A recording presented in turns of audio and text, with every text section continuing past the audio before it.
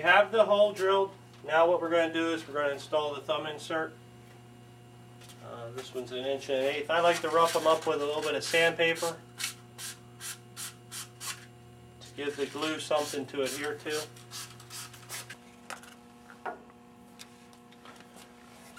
And what you want to do is put a little glue down inside the hole, go down in there, oh maybe at least a quarter of an inch below the surface of the hole. I have gravity letting the glue fall to the bottom of the hole and I want to go 360 degrees around. Now what's happening is gravity's letting that glue roll down toward the bottom of the hole. I take my thumb insert or slug, whatever you want to call it, and there's an air escape ramp on the back of the thumb insert. This is a right-handed player, so I always want to put that uh, down at the uh, 730 position. If it was a left-handed player, I would put it down at 430. And that way, that escape ramp will never interfere with the front of the thumb. Okay? So I'm going to put that back down here. And again, never want to hammer on your drill press. So we're doing this on the bench. Let's set that on there.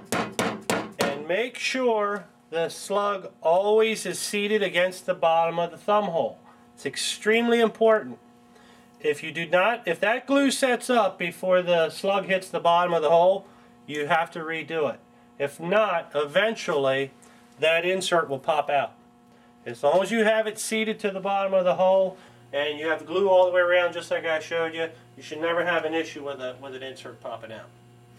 Now what we're going to do, and what we did at the break there, I switched drill bits. We have our pitches dialed in. We're going to go back to the drill press. And if you notice, I did not mark yet where I'm putting my um, finger holes because the, the nice thing is if I miss a little bit on this thumb hole, it's not that critical yet. It'll be more critical that I hit the finger holes. So I have my laser pointer on there. It's right on the very center of the thumb insert.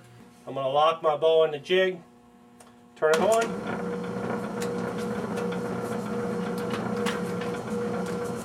And when we drill this hole, it's also it's critical that the the drill bit goes all the way through the slug. You don't want to leave slug at the bottom of the hole. If this is a player who bowls in any PBA tournaments, the PBA insists they want to see the, the actual material of the ball underneath. So that's how you'll know when you drilled it deep enough. Again, we will peck drill.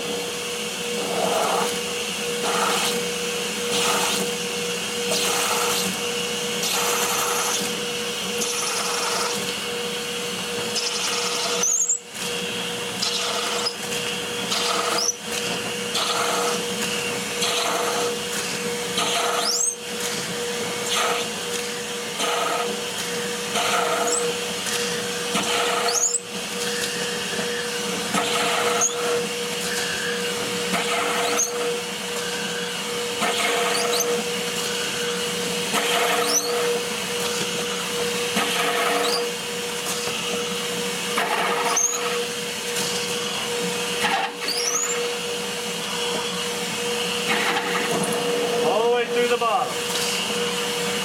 Perfect.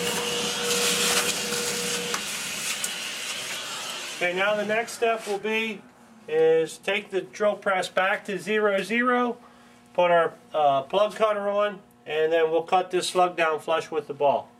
We're going to take care of that process right now, and then in our next video we'll come back and show you how to map.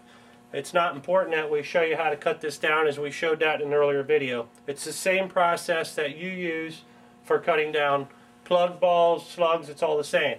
Just make sure your press is set at zero zero. Come down and treat the top of this just like it was a plug ball and that'll make it smooth with the ball. And then we'll see you back in the next video. Thanks for looking in.